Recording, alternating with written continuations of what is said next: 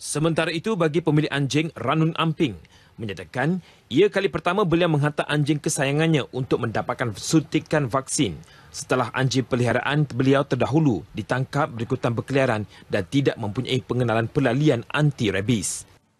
Yang ni yang untuk anjing peliharaan saya yang pertama. Dulu ya saya ada pelihara yang yang ada yang lah force lah tapi diambil oleh tidak di BKU. Jadi uh, untuk yang tu saya akan jaga bagus-bagus lah. Uh, dan sesuai saya tengok dalam Facebook, saya tengok ada program macam ni, so saya terus hantar pergi sini ya supaya dia lebih terjamin lah kesihatan dia. Sementara itu bagi Chong Yi Lin pula memaklumkan ini kali kedua beliau menghantar anjingnya mendapatkan suntikan bagi memastikan kesihatan haiwan peliharaan berada di tahap terbaik. Yeah, better to bring them lah.